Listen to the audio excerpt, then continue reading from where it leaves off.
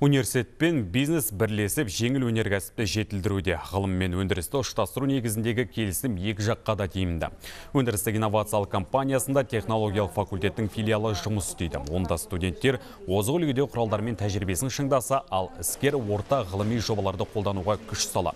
Сөйтіп, елбасы жолдауында айтылған кәсіпорындарды цифрландыруға зор мүмкіндік жасалуда.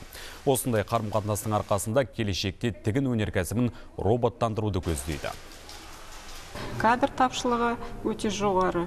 Бізде осы астана қаласында ә, дәл айтқанда сол тігін мамандығымен байланысты ә, жай тігіншіден бастағаннан ә, инженерлік техникалық мамандардың тапшылығы да өте сезіледі бізге. Жеңіл өнеркәсібі болсын IT технологиясы болсын сол салаларда шығып жатқан жаңалықтардың бәрін біздің мақсатымыз өзіміздің өндірісімізге енгізу. Соған біз енді өз жағымыздан бір топ жаңа ғалымдар соған бірнеше ғылыми жоба жасап сол шарада қалай жұмыс жасаймыз қандай бізде ортақ жаңағы шешімдер болады қандай пайда болады деген ортамызда себебі біздің балаларда жаңа инновациялық компания келіп жұмыс істегені бізге де ол жақсы.